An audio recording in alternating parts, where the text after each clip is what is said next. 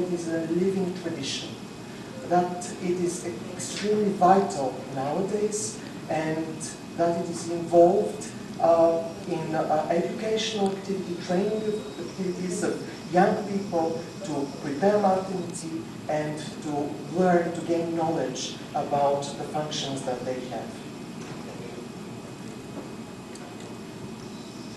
Благодарим на господин Вуков.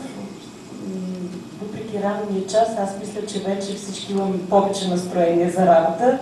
Носете мартиниците със себе си, не само докато сте тук в България, но и като се върнете във вашите родни места. А сега с голямо удоволствие давам думата на госпожа Сесил Бювел, директор на